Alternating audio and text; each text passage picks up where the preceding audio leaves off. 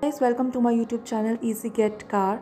I hope you all are doing well and today i'm up with a new video that is all about the 2023 toyota fortuner.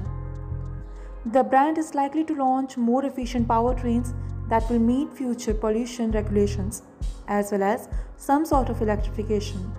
The next generation fortuner might include a diesel engine and a mild hybrid or strong hybrid drivetrain. Toyota upgraded the Fortuner in its present, second generation incarnation for a market just recently this year with a facelift. However, it is widely assumed that Toyota has been working on the next generation Fortuner for some time and that it will be released in 2022 according to reports.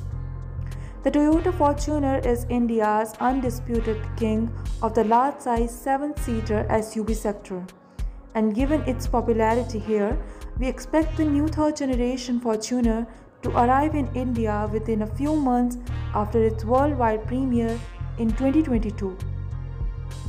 The Toyota Fortuner received a makeover that included new LED projector headlights and a few nil grille that is bigger than previously but has significantly less chrome than the previous generation.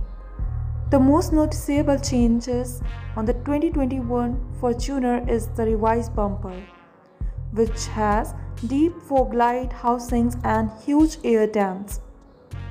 The 18-inch alloy wheels get a new design as well as thinner LED tail lights at the back. The 2.7-liter petrol engine that generates 166 HP and 245 Nm is retained under the hood of the Toyota Fortuner facelift. This engine is available with a 5-speed manual or 6-speed automatic transmission. The 2.8-liter diesel engine has been retained, although with several modifications.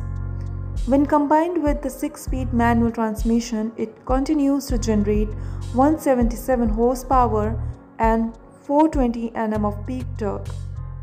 However, if you opt for the automatic diesel variant, the 2.8 liter engine has received a healthy upgrade to now produce 204 horsepower and an impressive 500 Nm of torque with the 6-speed torque converter unit. The next generation model of the all-new Toyota Fortuner 2023 is spy testing abroad. Reportedly, it will be more electric and offering plenty of new features to the buyers. In India, it completes the MG Gloster and Ford Endeavour. However, both its competitors are far behind if compare the sales figures. Thank you guys. Please do like, share and also subscribe to my channel. Have a nice day.